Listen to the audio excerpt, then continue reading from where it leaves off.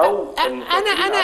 عندي سؤال واحد بس سيادة النائب. يعني هنعمل حلقة منفصلة فعلا عن تفاصيل أزمة الوفد لأنها أزمة متشعبة ولا تعود فقط لعبد السند يمامة يعني أو. لعهده وإنما تسبقها بب- ببضع سنوات. أنا عايز أسأل هو الوفد ده حزب طول عمري متعلمة كده من الكتب وأنا صغيرة إن الوفد ده حزب معارض؟ طالما إن هو ده غير بقى لما كان في السلطة من قبل آه من قبل الملكية. آه سبع 52. سنين متقطعة. 52. لكن أنا بتكلم دلوقتي طول عمره في المعارضة. الآن هو الوفد فين؟ تصنيفه إيه كحزب؟ هو معارض ولا هو مؤيد ولا هو في النص ولا بشرطة ولا إيه بالظبط؟ لا هو حزب الوفد وحزب معارض. يمكن ده موجود ممارساتنا في داخل البرلمان موجود في ممارساتنا في داخل المجلس الشيوخ. لكن آه، ال- ال- ما حدث؟ بقول لحضرتك إن آه، لم ي- يرتضي قيادة الوفد آه، سواء جماهيره وشعبيته. إحنا عندنا قواعد كبيرة جدا في كل المحافظات. لم يكن هناك تواصل مع المحافظات بشكل. كبير. لم يرتب ال- ال- البيت بشكل كبير. ويمكن ده آه، أنا بقول آه، قد تكون هذه الانتخابات هي نقطة لتصحيح واعاده المسار وفتح بيت الأمة إلى كل آه، المصريين. وألا يكون قاصر على آه،. شخصيات معينة لأن حزب الوفد بالأمانة الشديدة الفترة الأخيرة آه، تم تقديمه من خلال قرارات وناس دخلاء على الوفد مش وفديين مش ليبراليين. فدي للأسف للأسف الشديد طيب. آه، ده كان مؤثرات كثيره جدا. والمعطيات دي كلها أدت إلى نتائج وكنا نتوقع هذه النتائج على فكرة بتقول لي إنه هذه الانتخابات صادمة. نقطة بداية وهنتكلم مرة تانية عن الوفد. هذه عشان عشان وقتي. هذه الانتخابات قد تكون نقطة بداية لوفد جديد؟ صحيح.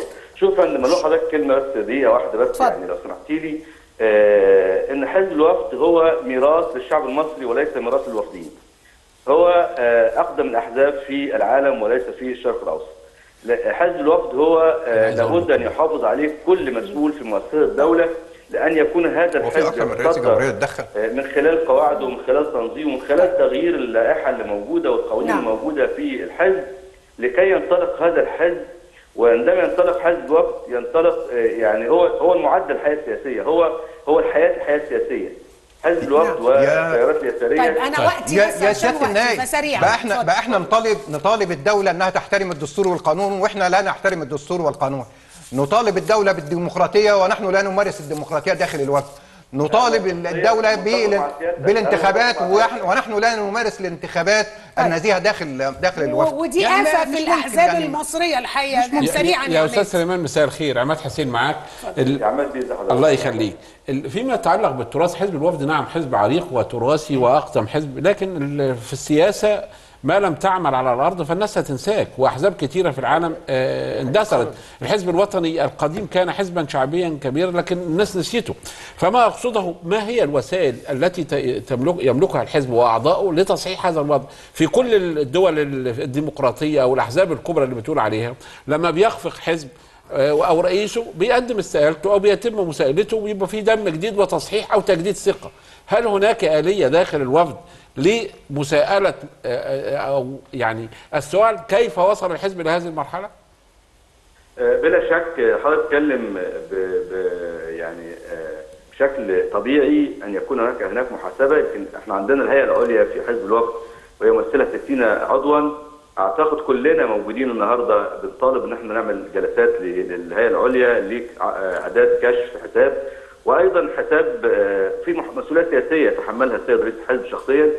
يمكن إحنا الهيئه العليا لم تجتمع منذ أكثر من ثلاث شهور ونصف وده لا يمكن يكون حزب يخوض الانتخابات ولن تجتمع هيئته أو مجلسه آه، نعم. التشريعي أو مجلس أو قواه اللي موجودة لم تجتمع وكان دي نتائج إحنا بنقول إن إحنا آه، الدكتور عبد السند مع احترامنا وتقديرنا الشديد له وبصفته آه، آه، أكاديمي ورجل آه، آه، أستاذ جامعة إلا إن السياسة لها حسابات أخرى ولابد يكون طيب. هناك ذكاء اجتماعي لاحتواء كافة الوكيل طيب أنا أنا هنعمل جلسة للوفد مع, مع لأنه هذا حزب مهم لا يجب أن نتركه يسقط صحيح. صراحة صحيح. ولا يجب أن نتركه يفشل آه، آه، هذا حزب يجب إنقاذه ولو كانت يعني ال- الانتخابات نقطة بداية فهي نقطة بداية لإنقاذ الوفد ليكون حزبا معارضا حقيقيا على الأرض وحزب حقيقي لأن الوفد ده موجود في في في كل ال ال ال المناطق في القرى مصر في كل. القرى في كل النجوع ده حزب حقيقي يا جماعة.